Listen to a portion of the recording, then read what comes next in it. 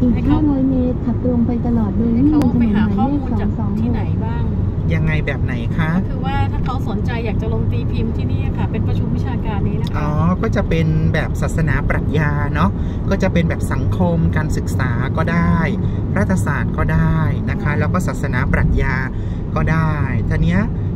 คอนเทนต์นะคะทอปิกที่เราที่อาจารย์ยโสธราชอบเขียนไปนั้นก็มักจะเป็นแบบบูรณาการนะคะข้ามศาสตร์ อย่างเช่น ศาสนากับการท่องเที่ยวนะคะ แล้วก็สัญลักษณ์นะคะบางอย่างที่บอกถึง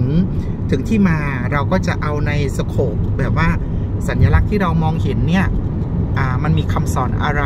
เพื่อที่มันจะไปแมทชิ่งกับตัวศาสนาและปรัชญาเนาะอย่างเช่น สัญลักษณ์ศักดิ์สิทธิ์มันก็จะตีไปในเรื่องของอาวิถีชีวิต แล้วก็คำสอนแล้วก็จารีตอะไรบางอย่างเนี่ยซึ่งส่งงานไปเขาก็รับรับเลย เพราะว่ามันตรงกับเมนของเขานั่นเอง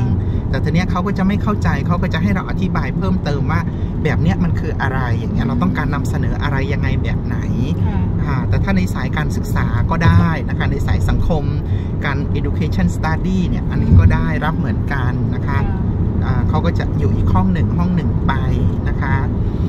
ในบรรยากาศปีที่แล้วเนี่ยเขามีการประชุมออนไซต์หรือออนไลน์คะเป็นออนไลน์ค่ะอาจารย์ คนเข้าเยอะมาก เยอะมากแล้วก็กระโดดเข้าห้องโน้นกระโดดเข้าห้องนี้ โอ้ยสวยสดงดงามค่ะอะ ตลกมากคือสนุกแล้วก็ตลก แล้วก็พอเวลาถึงเวลาอาจารย์ยโสธราจะนำเสนอ ทุกคนก็จะกระโดดเข้ามาเต็มไปหมดเลยก็ก็จะเปิดก็จะโอ้ทำไมมันเห็นอยู่เมื่อตะกี้มันเห็นอยู่ไม่กี่คนแต่เรามันตอนนี้เป็นร้อยอย่างเงี้ยค่ะ มากระโดดเข้ามาเป็นร้อยเลยเพื่อที่จะนั่งฟังเราเราพูดนะคะ แล้วก็อ่า คณาจารย์ที่เป็นเป็นผู้ทรงคุณวุฒิเขาก็ใจดีเขาก็จะถามนู่นนี่นั่นอะไร เราก็สามารถแสดงความรู้ได้แบบเต็มที่เลย แล้วก็ท่านก็ให้ข้อเสนอแนะมา ตัวข้อเสนอแนะนี้ก็จะเป็นตัวใหม่ที่เราจะต้องไปทำงานตัวใหม่ขึ้นมา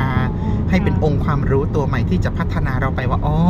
คณะกรรมการเข้ามองเห็นแบบนี้ แล้วเราก็เอาตัวเนี้ย ไปสร้างงานใหม่ขึ้นมา อันนี้ก็คือที่เราได้จากกองประชุมนะคะ มันก็เลยกลายเป็นงานที่หลากหลาย แล้วก็เกิดองค์ความรู้อื่นๆ เกิดขึ้นมากมายนะเอาเอาองค์ความรู้ที่ที่คณาจารย์ผู้ทรงเข้ามองเห็นแล้วก็เอามาตีเป็นเป็นเป็นดอกผลตัวใหม่เนาะเป็นเรื่องใหม่เป็นอะไรตัวใหม่ แล้วก็หาผลมันมาประกอบสร้างก็จะกลายเป็นบทความที่น่าอ่านยิ่งขึ้นนั่นเองนะคะค่ะ แล้วทีนี้ถ้า